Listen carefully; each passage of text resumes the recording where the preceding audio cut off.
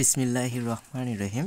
আজকে আমরা honours third ইয়ারের ডিফারেন্সিয়াল জিওমেট্রি অর্থাৎ অন্তরক জ্যামিতি এই সাবজেক্টের দ্বিতীয় চ্যাপ্টার অর্থাৎ খুবই গুরুত্বপূর্ণ চ্যাপ্টার যেটা হচ্ছে স্পেসে বক্ররেখাসমূহ এই স্পেসে বক্ররেখাসমূহ থেকে খুবই গুরুত্বপূর্ণ একটা ম্যাথ সলভ করার চেষ্টা করব, যেটা আমার সাজেশনের হচ্ছে বিশ নাম্বার ম্যাথ বিশ নাম্বার ম্যাথটা বলছে এরকম যে x equals to a cos t y equals to a sine t z equals to a t cos alpha বক্ররেখার জন্য। মানে এই তিনটা মিলে আছে আর কি হচ্ছে বক্ররেখা। অর্থাৎ এক্স ওয়াই জেড বক্ররেখা। এই বক্ররেখার জন্য বক্রতা এবং প্যাস নির্ণয় করতে বলছে। বক্রতা মানে হচ্ছে কাপ্পা বের করতে হবে আর প্যাস মানে হচ্ছে টাও বের করতে হবে। এই আর কি। অথবা এই প্রশ্নটা এভাবেও থাকতে পারে যে বৃত্তীয় হেলিক্সের ক্ষেত্রে কাপ্পা ও টাও নির্ণয় করো। বৃত্তীয় হেলিক্সের ক্ষেত্রে কাপ্পা ও টাও নির্ণয় করতে, টাও নির্ণয় করতে হবে।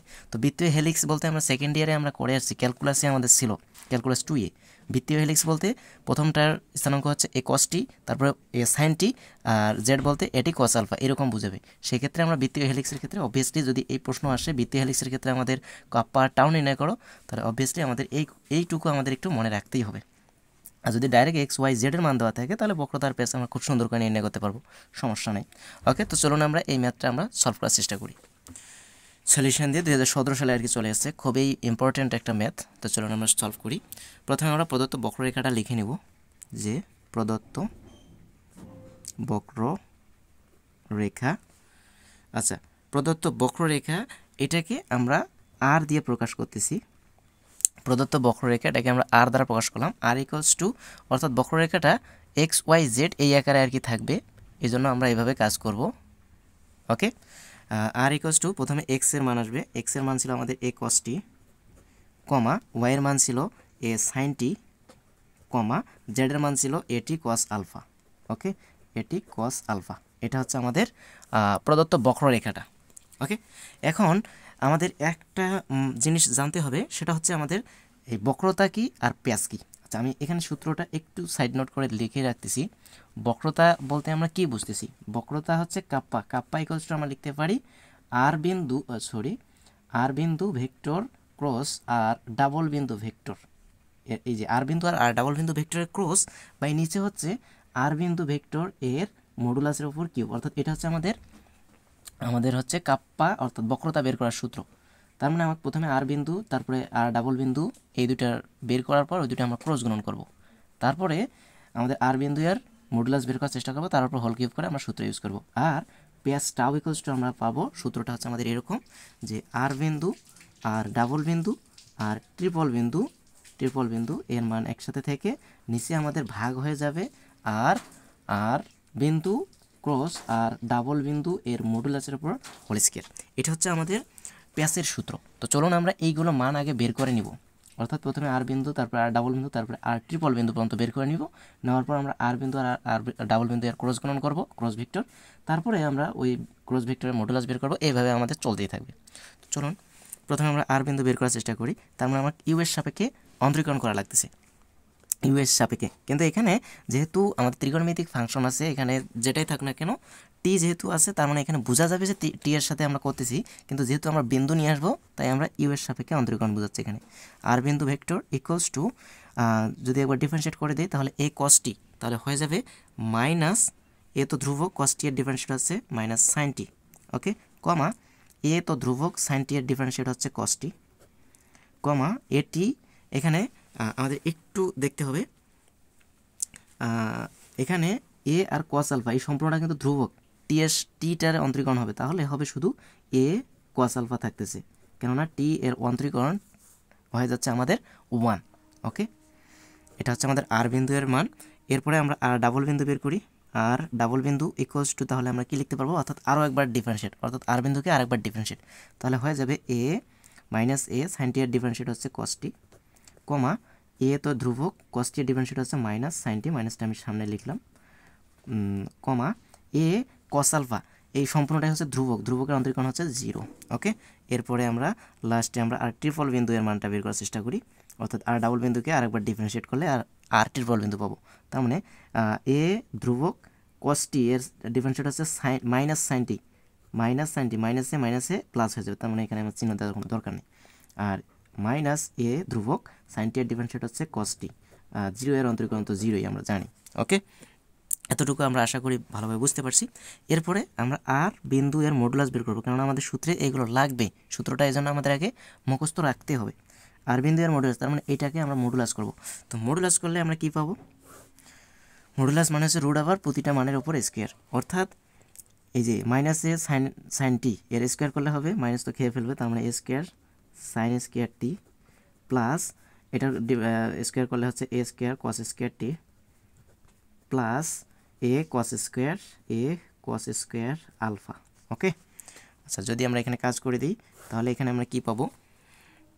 একটু আমরা যদি দেখি এ স্কোয়ার দুজনের কাছে আছে, আর sine t cos sine square cos square আছে, তার মানে এ স্কোয়ার যদি আমরা কমন নেই, তাহলে এখানে পাবো আমরা sine square t plus cos square t bracket close তার সাথে বাইরে আছে আমাদের a square cos square alpha okay এতটুকু আশা করি বুঝতে পারছি। এরপরে আমরা এখানে লিখতে পারি sine square plus cos square এর মান হচ্ছে ওয়ান ওয়ান দ্বারা স্কোয়ারকে গুণ করলে এ স্কোয়ার ওকে আচ্ছা এ স্কোয়ার প্লাস এখানে আছে আমাদের a square cos square alpha okay এতটুকু আশা করি আমরা বুঝতে পারছি কারণ এগুলো আমাদের নাইনটিনের ধারণা ওকে এখানে যদি আমরা কাজ করে দিই দুজনের কাছে এ স্কোয়ার আছে এ স্কোয়ার আমরা যদি কমন নিই, তাহলে one plus cos square alpha okay আচ্ছা এ স্কোয়ারটাকে যদি আমরা একটু রুডের বাইরে নিয়ে আসি স্কোয়ারটাকে যদি আমরা একটু রুডের বাইরে নিয়ে আসি, তাহলে আমরা কি পাবো? আচ্ছা আমাদের প্রশ্নে কি দেওয়া ছিল? কোয়াট ছিল নাকি?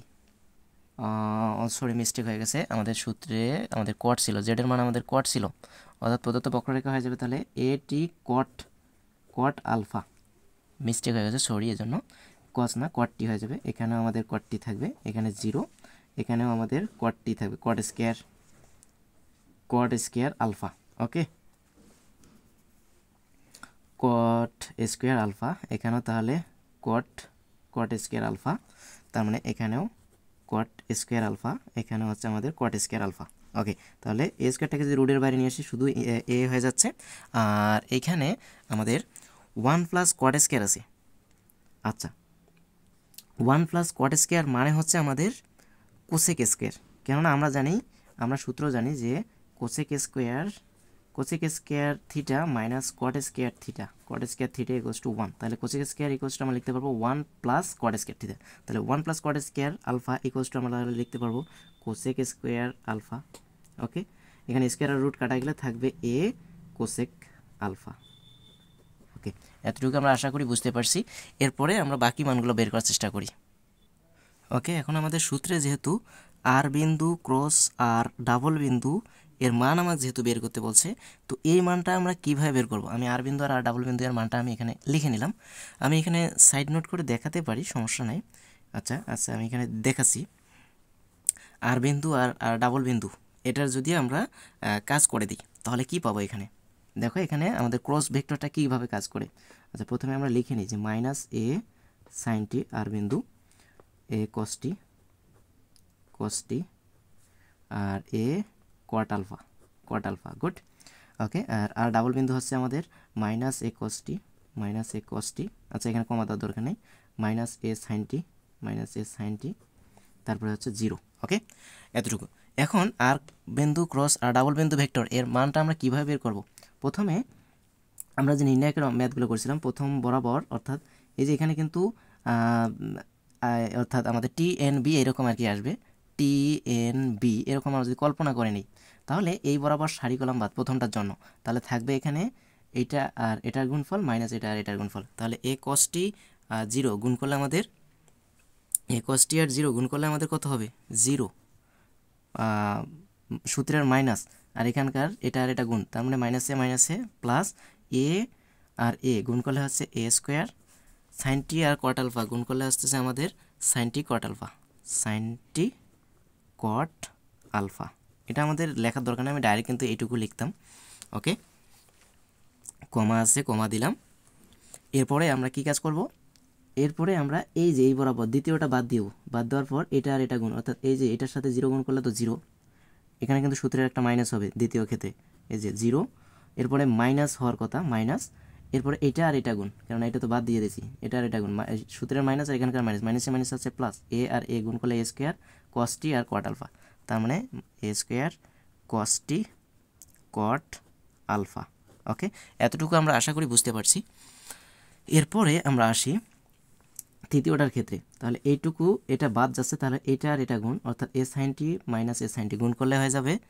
আচ্ছা তৃতীয়টার ক্ষেত্রে এখানে plus a sine t minus a sine t r minus a sine t গুণ করলে হবে মাইনাসে মাইনাসে plus a square sine square t এরপরে সূত্রের মাইনাস এটা আর এটা গুণ, তার মানে মাইনাসে মাইনাসে প্লাস এ আর এ গুণ করলে a square cos t R cos t cos square a square cos square t okay okay এটা আমরা অবভিয়াসলি ব্র্যাকেটের ভিতরে আবার রেখে দিব। ওকে সেকেন্ড ব্র্যাকেটের ভিতরে রাখি। ওকে এটাকে আমরা একটু ক্যালকুলেশন করে নেব। এখানে জিরোর সাথে এটা গুণ ক্যালকুলেশন করলে আমাদের ওইটাই থাকতেছে a square sine t cot alpha okay comma minus এখানে ক্যালকুলেশন করলে প্লাসে মাইনাসে minus a square cos t cot alpha a square cos t cot alpha আচ্ছা এখানে আমরা একটু দেখে নিই যে আমাদের কোথাও মিস্টেক হচ্ছে কি না একটু যদি আমরা দেখে নিই, এটা মাইনাসে মাইনাসে প্লাস মাইনাস দিয়ে যদি আমরা কাজ করি সরি আমাদের এখানে মাইনাস আসবে, ঠিক আছে, কিন্তু এখানে একটা মাইনাস থাকবে। তো এই মাইনাসে মাইনাসে এখানে আমাদের প্লাস হয়ে যাবে। ওকে আর এখানে এ দুজনের কাছে এ স্কোয়ার আছে এ স্কোয়ার যদি আমরা কমন নিই, তাহলে sine square plus cos square হয়ে যাবে। Sine square plus cos square মানে হচ্ছে ওয়ান ওয়ানের সাথে এ স্কোয়ার গুণ করলে সিঙ্গেল আমরা এ স্কোয়ার একটা পাচ্ছি। ওকে এতটুকু হচ্ছে আমাদের এই আর বিন্দু ক্রস আর ডাবল বিন্দু এর মান। এটা আমি বোঝার চেষ্টা করলাম। আপনারা অবভিয়াসলি বুঝতে পারবেন, একটু মনোযোগ সহকারে দেখলে। এখন আমরা এটার মডুলাস বের করব। অতএব আর বিন্দু ক্রস আর ডাবল বিন্দু এর মডুলাস আমরা বের করার চেষ্টা করি। তাহলে কীভাবে করব আমরা এর মডুলাস প্রথমটার স্কোয়ার প্লাস দ্বিতীয়টার স্কোয়ার প্লাস তৃতীয়টার উপর স্কোয়ার রুট আবার এটা। অর্থাৎ প্রথমটার উপর স্কোয়ার করলে a to the power four sine square t cot alpha cot square alpha plus a to the power four স্কোয়ারের উপরে স্কোয়ার করলে a to the power four cos square t cos square t into cot square alpha plus a to the power four okay এরপরে যদি আমরা কাজ করি এখানে একটু আমরা ক্যালকুলেশন করব। সবার কাছে এ টু দি পাওয়ার ফোর আছে, আমরা a to the power four common নিতে পারি। A to the power four আমি কমন নিলাম। তার সাথে আমি একইভাবে এখানে কাজ করব একটু, যে এখানেও কট স্কোয়ার আলফা এখানেও cot square alpha a to the power four তো আমি কমন নিছি, এখন এই যে এইটা আর এইটার মধ্যে আমি কট স্কোয়ার আলফা কমন নিব। তাহলে কট স্কোয়ার আলফা যদি আমি কমন নিয়ে নেই, তাহলে এখানে থাকবে আমার sine square t sine square t plus এখানে থাকবে আমাদের cos square t cos square t okay plus এই যে এখান থেকে আমরা a to the power four common নিয়ে নিছি, তার মানে ওয়ান আছে এখানে শুধু। আর সম্পূর্ণটার পর second bracket okay equals to আমরা লিখতে পারব এখানে a to the power four sine square t plus cos square t এর মান হচ্ছে ওয়ান ওয়ানের সাথে কোয়াট স্কোয়ার ওয়ানের সাথে কোয়াট স্কোয়ার আলফা যদি আমরা গুণ করে রাখি, যদি আমরা গুণ করে রাখি, তাহলে এখানে থাকবে আমাদের ওয়ানের সাথে কোয়াট স্কোয়ার আলফা গুণ করলে হচ্ছে শুধু শুধু কোয়াট স্কোয়ার আলফা তার সাথে প্লাস ওয়ান আছে প্লাস ওয়ান ওকে আচ্ছা এটি দিবার ফোরটাকে যদি ব্র্যাকেটের বাইরে নিয়ে আসি এটি দিবার ফোরকে ব্র্যাকেটের বাইরে নিয়ে আসলে a square R cot square alpha cot square alpha plus one কাজ করলে আমাদের কোসেক স্কোয়ার আসবে, অর্থাৎ রুটের ভিতরে আমাদের কোসেক স্কোয়ার আলফা আসতেছে। তো এ স্কোয়ার রুট আর স্কোয়ার কাটা গেলে শুধু থাকবে আমাদের কোসেক আলফা ওকে আশা করি আমরা এতটুকু বুঝতে পারছি। এখন আমরা বক্রতা বের করব, তাহলে আমরা জানি দিয়ে লিখব যে আমরা জানি আমরা জানি বক্রতা। বক্রতাকে আমরা কাপ্পা দ্বারা প্রকাশ করে থাকি। কাপ্পা ইকোস টু আমরা জানি যে আর বিন্দু ক্রস আর ডাবল বিন্দু এর মডুলাস বা নিচে হচ্ছে আর বিন্দু এর মডুলাসের ওপর হল কিউব ওকে আচ্ছা আর বিন্দু ক্রস আর ডাবল বিন্দু এর মান মডুলাসের মান হচ্ছে a square a square cosec alpha cosec alpha আর নিচে হচ্ছে আর বিন্দু এর ওপর মডুলাসের ওপর কিউব। আর বিন্দু এর মান আমরা পাইছিলাম a cosec a cosec alpha তারে যেহেতু মডুলাসের মান আমরা এটা পাইছি, তার উপর যেহেতু কিউব আছে, এই যে আমরা কিউব দিয়ে দিলাম। তাহলে এখানে আমরা যদি একটু ক্যালকুলেশন করে দিই, তাহলে কি পাবো? আচ্ছা একটু যদি আমরা ভেঙে ক্যালকুলেশন করি a square cosec alpha a square cosec alpha আর নিচে হচ্ছে আমাদের কিউব। যদি আমরা কাজ করে দিই a cube cosec cosec cube alpha okay তাহলে এখানে আমাদের থাকতেছে স্কোয়ার স্কোয়ার যদি একটা কাটা দিয়ে নিচে, তাহলে আরও একটা এ থাকতেছে one by a into cosec আর এখানে কোসেক কিউব আছে, তার মানে one by cosec square one by cosec square alpha okay one by a one by cosec square মানে হচ্ছে সাইন স্কোয়ার তার মানে one by a sine square alpha okay এতটুকু আমরা বুঝতে পারছি, এটাই হচ্ছে আমাদের কাপ্পা অর্থাৎ বক্রতা এর মান। এখন আমরা প্যাস বের করার চেষ্টা করব প্যাস আচ্ছা প্যাস যদি আমরা বের করতে যাই, তাহলে অবভিয়াসলি আমাদের আগে প্যাসের যে সূত্রটা আমরা শিখছিলাম, যে আর বিন্দু আর বিন্দু আর ডাবল বিন্দু আর ট্রিপল বিন্দু আর ট্রিপল বিন্দু, এটার ব্র্যাকেটের ভিতরে ছিল, আর নিচে ছিল আমাদের আর বিন্দু ক্রস আর ডাবল বিন্দু এর মডুলাস অর্থাৎ আর বিন্দু ক্রস আর ডাবল বিন্দু এর মডুলাসের ওপর হোল স্কোয়ার অর্থাৎ প্রথমে আমরা এটা বের করতে হবে, এটা তো আমরা আগে বের করে ফেলছি। ওকে তাহলে আবার, তাহলে প্রথমে আমরা আর বিন্দু আর ডাবল বিন্দু আর ট্রিপল বিন্দু, এইগুলোর মানটা আমরা বের করে নেব। এই মানটা আমরা কীভাবে বের করব? অবভিয়াসলি এখানে নির্ণায়কের শর্ত আসবে প্রথমে আর বিন্দু এর মান আমরা লিখে নেব। আর বিন্দু হচ্ছে মাইনাস এ সাইনটি এর আগে আমরা করে এসেছি, দেখে নিতে পারেন। তারপর এ কসটি একটু গ্যাপ রেখে লিখব। আর এ কট আলফা ওকে এরপরে আর ডাবল বিন্দু এর মানটা ছিল আমাদের মাইনাস এ কসটি মাইনাস এ কসটি এখানে মাইনাস এ সাইনটি এ সাইনটি আর এখানে ছিল আমাদের জিরো আর আর ট্রিপল বিন্দুটা ছিল আমাদের এ সাইনটি এ সাইনটি তারপরে মাইনাস এ কসটি মাইনাস এ কসটি আর এখানে ছিল আমাদের জিরো এখন আমরা এটা কীভাবে ক্যালকুলেশন করব সেটা আমরা একটু দেখব।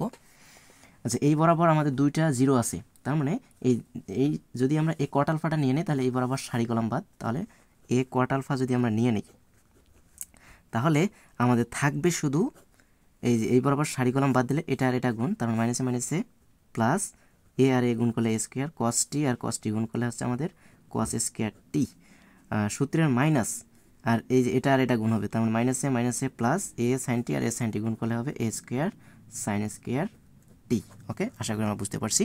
তাহলে এখানে আমরা যদি একটু কাজ করি এ কট আলফা দুজনের কাছে এ স্কোয়ার আছে, আমি এ স্কোয়ারটা বাইরে নিয়ে আসলাম।